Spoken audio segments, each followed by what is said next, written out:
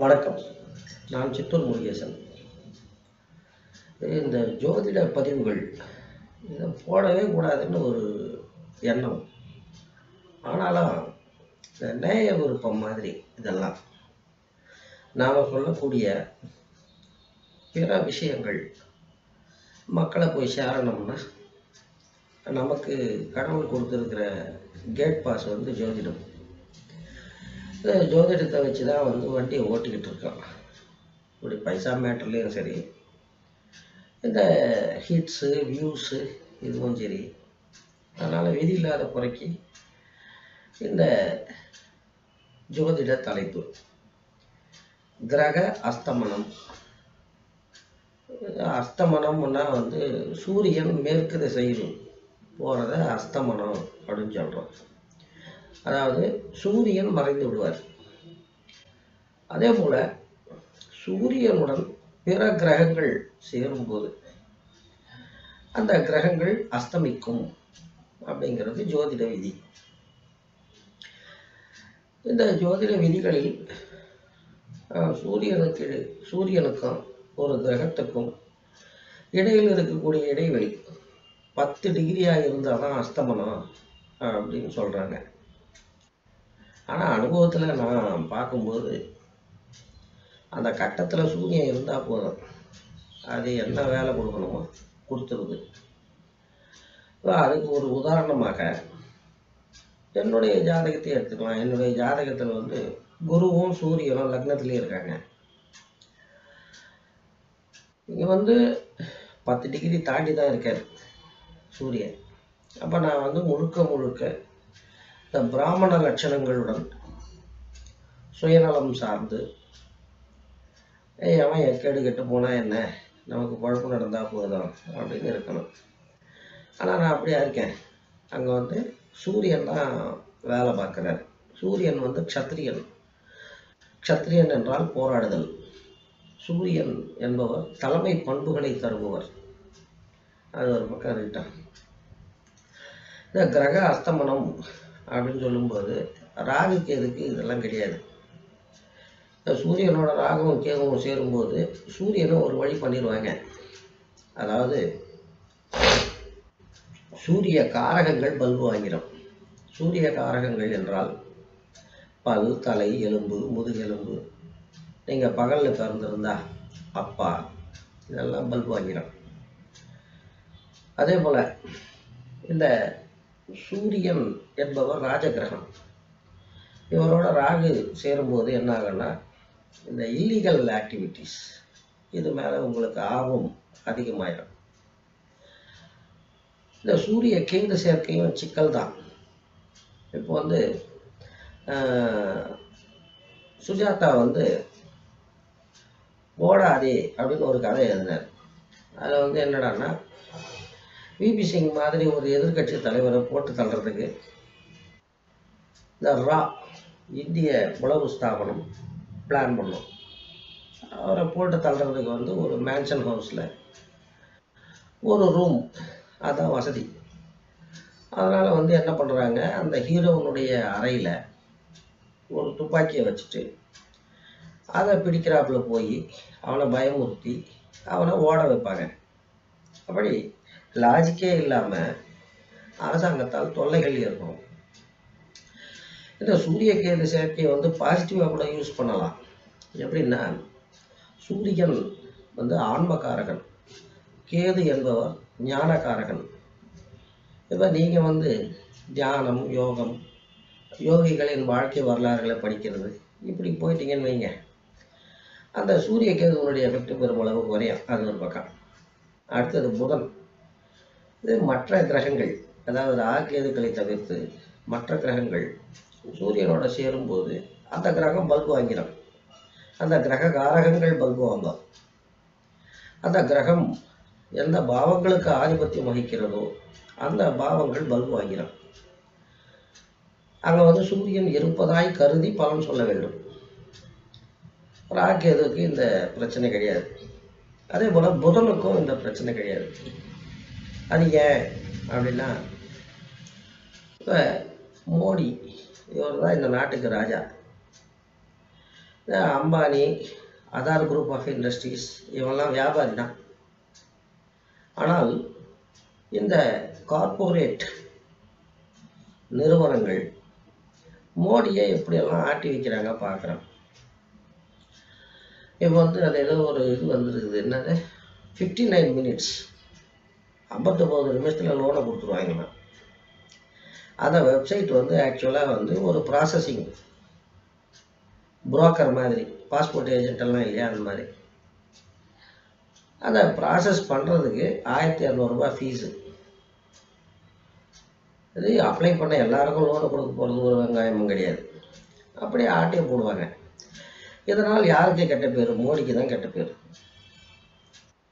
ஆக ராஜாவை விட வியாபாரி பவர்ஃபுல் அதனால தான் வந்து சூரியனும் புதனும் சேரும்போது சூரியன் அங்கே பலகீனப்பட்டு போயிடுறாரு. அட் த சேம் டைம் ராஜாவோடு கொஞ்சம் பொதுநல நோக்கம் கொண்ட வியாபாரிகள் சேரும்போது இப்போ கவர்மெண்ட் வந்து ஒன்றும் பங்கரை கிடையாது. எல்லாமே லாபத்தில் நடக்கணுங்கிற அவசியம் கிடையாது. இல்லைன்னா வந்து ஒரு ரூபா அரிசி இலவச அரிசி கலைஞர் தொலைக்காட்சி இதெல்லாம் வந்து செய்திருக்கவே முடியாது. அதே போல் இந்த போக்குவரத்து துறையை தேசியமயமாக்குறது இதெல்லாம் நடக்காது. அட் த சேம் டைம் ஆற்றுல போட்டாலும் அளந்து போடணும். இப்போ கலைஞருடன் இந்த கல்வியாளர்கள் ஆடிட்டர்ஸ் இவங்கெல்லாம் வந்து லாயர்ஸ் இவங்கெல்லாம் வந்து இன்ட்ராக்ட் ஆகிட்டே இருப்பாங்க. அதனால் கலைஞர் வந்து தன்னுடைய திட்டங்களை கொஞ்சம் சாலாக்கா அதில் எதுவும் ப்ராக்டிக்கல் ப்ராப்ளம்ஸ் வராமல் லீக்கேஜ் இல்லாமல் இம்ப்ளிமெண்ட் பண்ணிக்கிட்டு வந்தார். அந்த வகையில் சூரியனும் புதனும் சேர்ந்தால் நல்லது தான் ஆனால் ஒன்று சூரியன் பலகீனப்படுவார் அப்படின்னு சொன்னேன். சூரியனும் புதனும் சேர்ந்தால் சூரியன் பலகீனப்படுவார்.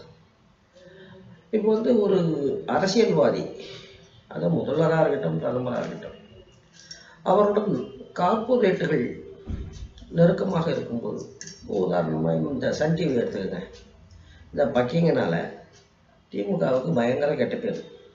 அப்படித்தான் இதை புரிஞ்சுக்கிடணும். இப்போ வந்து ராகு கேது புதன் தவிர்த்து மற்ற கிரகங்கள் சூரியனோட சேர்ந்தா என்ன ஆகும் இப்போ சூரியன் மூன்று ஆறு பத்து பதினொன்றில் இருந்தால் நல்லது. நான் ஏற்கனவே சொன்னேன். இந்த ராகு கேது புதன் தவிர்த்து மற்ற கிரகங்கள் ஒரு கட்டத்தில் இருந்தால் சூரியனோட சேர்ந்து. அங்கு சூரியன் இருப்பதாக கருதி பலன் சொல்ல வேண்டும் அப்படின்னு சொன்னேன். அப்படி இந்த கிரக அஸ்தமனம் என்பது மூணு ஆறு பத்து பதினொன்றில் ஏற்பட்டிருந்தால் கொஞ்சம் பெட்டரு மற்ற பாவங்களில் ஏற்பட்டிருந்தால் அது பல்பு தான். இப்போ வந்து சந்திரன் சூரியனும் சந்திரனும் சேர்ந்தால் நல்லது தான் ஏன்னா சந்திரன் என்பவர் மனோகாரகன் சூரியன் என்பவர் ஆத்மகாரகன். இப்போ இந்த மனசு வந்து என்னென்னா இதுக்கு பிச்சைக்கார புத்தி ஜாஸ்தி என்ன பிச்சைக்கார புத்தி ஜாஸ்தி இது கிடைக்குமா கிடைக்காதா அதுக்கு உண்டான தகுதி தனக்கு இருக்கா இல்லையா இப்படியெல்லாம் யோசிக்க விடாது யோசிக்க விடாம ஆஹ், ஆசைப்பட சொல்லும் ஆசை வெட்கம் அறியாது இந்த மனசுக்கு வெட்கம் கிடையாது அதே நேரத்தில் சூரியன் ஆத்மகாரகன் இந்த ரெண்டும் ஒன்று சேரும்போது இந்த ரெண்டு கிரகங்களுக்கும் சம்பந்தம் ஏற்படும் போது சம்பந்தம்னா பரிவர்த்தனம் ஒன்றா சேர்றது இப்படி. அங்கே வந்து ஓரளவுக்கு அந்த ஜாதகர் வந்து ஆத்மசாட்சியாக செயல்பட ஒரு வாய்ப்பு ஏற்படும். அது நல்லது தான் ஒன்றும் பிரச்சனை கிடையாது. ஆனால் இந்த சூரியனும் சந்திரனும் சம்பந்தப்படும் போது அங்கே வந்து இந்த இப்போ வந்து உதாரணத்துக்கு சூரியன்னா கால்சியம் சந்திரன் என்றால் சிறுநீரகம். அதனால் வந்து சிறுநீரகத்தில் கல் வரலாம். அதே போல் லங்ஸு லங்ஸில் வந்து இந்த ச- சந்திரனுக்கு வந்து முக்கியமான காரகம் நுரையீரல். இந்த சந்திரனும் சூரியனும் ஒன்று சேரும்போது சூரியன் என்பவர் இந்த ஃபீவர்ஸ் வைரல் ஃபீவர் கிடையாது. சாதாரண ஃபீவர்கள்லாம் காரணம். அப்படி சில சிக்கல்கள் வரலாம். இதுக்கு சகட்டு மீனிக்கு ஆன்டிபயோட்டிக் எடுத்துக்கிட்டால் கிட்னி பல்பு வாங்கிடும் இது சூரிய சந்திர சேர்க்கை. இப்போ சூரியனும் செவ்வாயும் சேர்றாங்கன்னு வைங்க.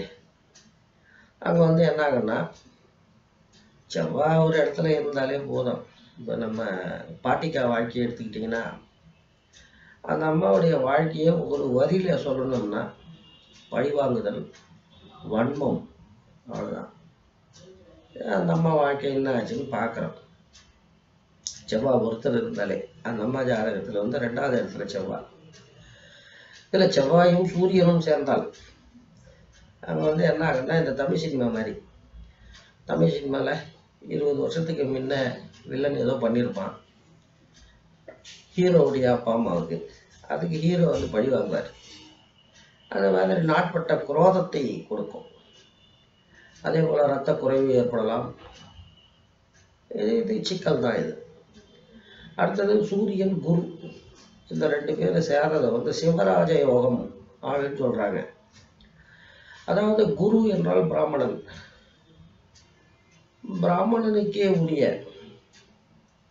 அந்த அச்சம் பயம் சுயநலம் நமக்கு என்ன போச்சுங்கிற ஃபீலு இதெல்லாம் இருக்கும். கூட சூரியன் சேரும்போது அங்கே வந்து ஒரு பொதுநல நோக்கு ஏற்படும். சில தலைமை குணங்கள் ஏற்படும். அதனால் வந்து அதை சிவராஜ யோகம்னு சொல்கிறாங்க அடுத்த சேம் டைம் இந்த குருவும் சூரியனும் ஒன்று சேரும்போது ஃபைனான்சியலாக பிரச்சனை வரலாம். மனைவி வகையில் பிரச்சனை வரலாம். குழந்தைகள் வகையில் பிரச்சனை வரலாம். அடுத்தது சூரியன் சனி. சூரியன் வந்து ராஜகிரகம் சனி வந்து தொழிலாளர் வர்க்கம். இந்த பிற்படுத்தப்பட்டவர்கள் தாழ்த்தப்பட்டவர்கள் எல்லாம். இது ரெண்டுக்கும் எப்பவுமே ஆகாது. அதனால் வந்து இந்த சூரிய சனி ஒன்று சேரும்போது பகலில் பிறந்தவர்களாக இருந்தால் அது அப்பாவுக்கு பல்பு. அதே போல் அப்பாவுக்கும் ஜாதகருக்கும் இருக்கக்கூடிய அந்த கம்யூனிகேஷன் அதில் பிரச்சனை வரலாம். அடுத்தது வந்து சூரியன் சுக்கிரன். இதுதான் ரொம்ப முக்கியம். சுக்ரன் என்றால் கெல்மா சூரியன் என்றால் ஈகோ.